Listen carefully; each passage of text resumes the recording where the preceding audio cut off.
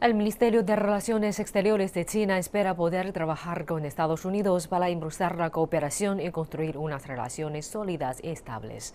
Altos funcionarios chinos estadounidenses se reunirán este jueves y este viernes en Alaska. Va a ser el primer encuentro presencial de alto nivel desde que el presidente de Estados Unidos, Joe Biden, asumió su cargo.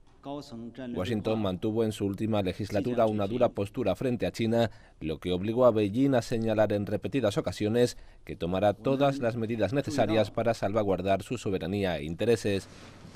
Antes de la reunión en Anchorage, Beijing ha condenado las nuevas sanciones impuestas por Estados Unidos bajo la legislación aprobada el año pasado sobre la autonomía de la RAE de Hong Kong.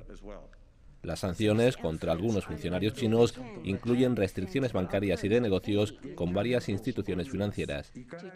Las sanciones de Estados Unidos contra particulares chinos en línea con su denominada Ley sobre la Autonomía de Hong Kong violan las leyes internacionales y las normas básicas que gobiernan las relaciones internacionales.